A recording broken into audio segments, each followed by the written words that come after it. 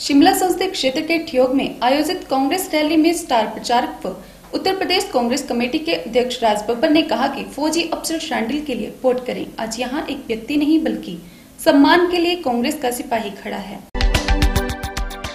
शिमला संसदीय क्षेत्र के ठियोग में आयोजित कांग्रेस रैली में स्टार प्रचारक व उत्तर प्रदेश कांग्रेस कमेटी के अध्यक्ष राज बब्बर ने कहा कि फौजी अफसर शांडिल के लिए वोट करें।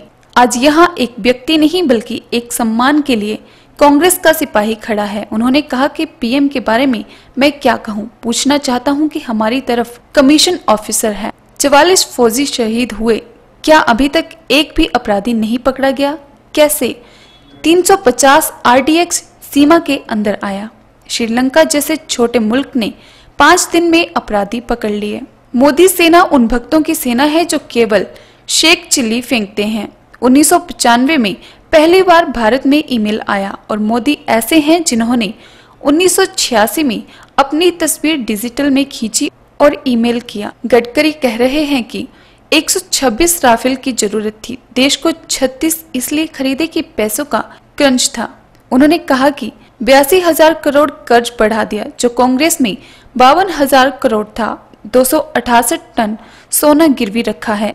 मोदी व भक्त तो ये कह सकते हैं कि देश तो आज़ाद ही नहीं हुआ। 2014 में देश आज़ाद हुआ। उन्होंने रैली में मौजूद बागवानों से पूछा कि भाजपा शहीदों को अपमानित करने का वोट मांगते हैं। शांडिल ईमानदार व्यक्तित्व हैं। यहाँ से जीत कर जाएँगे तो विद्या स्टोक्स व कुलदीप सिंह राठौर का क्षेत्र उभर कर आएगा। उन्होंने कहा कि हाथ के पंजे पर बटन दबाकर कांग्रेस को जीत दिलाएँ। करेंगे।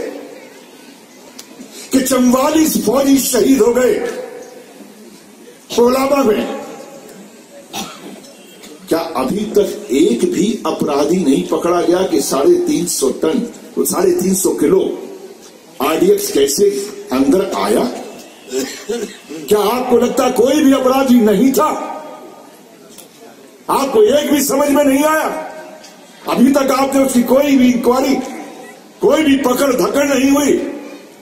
कम से कम उस छोटे मुल्क को देख ले श्रीलंका को, जब पाँच दिन में उन अपराधियों को पकड़कर सामने ला दिया अगर आप फौज के नाम पर राजनीति करते हैं, किस फौज के बारे में बात कर रहे हैं? भारत की फौज के बारे में। वाकई आप शायद मोदी मोदी सेना के बारे में बात करते हैं। ये मोदी सेना तो उन भक्तों की सेना है, जो बचपन में सुना करते थे कि शेख चिल्ली बैठ के बातें किया करता था पेड़ के नीचे। और उसके भक्त, उसके अनुयायी सामने बैठ जाते थे और फेंक के मारता था वो।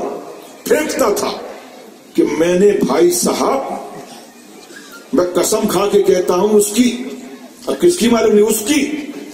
मैंने भूतों के साथ में बीड़ी पी है, भूतों के साथ। ये भूतों के साथ में बीड़ी पीने वाले अनुयायियों की कहानियाँ आनंद जी, मैं क्षमा चाहूँगा, मैं उन चीज़ों को नहीं दोहरा रहा हूँ। लेकिन ये बात मैं ज़रूर कहूँगा, क्योंकि आपने ये बात शायद छोड़ दी।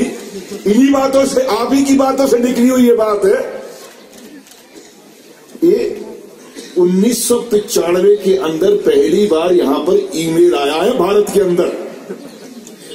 और ये महान ऐसे थे कि उन्होंने अपनी रंगीन तस्वीर डिजिटल में खींची। डिजिटल में खींची। जो छियासी में ईजाद हुआ है, मार्केट में नब्बे में आया कार्यक्रम में एक बार फिर वक्त चला छोटे से ब्रेक का, आइए मिलते हैं ब्रेक के बाद।